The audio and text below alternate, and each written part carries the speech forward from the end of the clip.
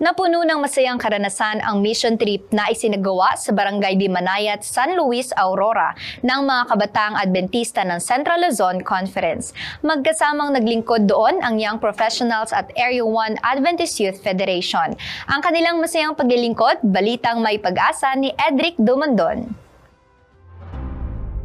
Tagumpay na naisagawa ang Mission Trip 2024 ng CLC Young Professionals and Area 1 Adventist Youth Federation sa pangunguna ng kanilang presidente ng CLC Young Professionals na si Miss Devi Ramel at Area 1 Young Professionals Vice President na si Miss Angelica Pablo noong April 2024 na may temang A Clear and Compelling Call.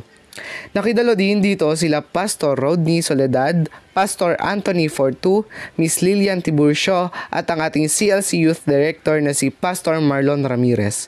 Nagkaroon din ng dental mission hatid ng CLC Young Professionals sa pangunguna ng mga volunteers and doctors na nakisangkot sa gawain dito sa Barangay Dimanayat, San Luis, Aurora at nagkaroon din ng gift giving hatid ng Area 1 Adventist Youth Federation.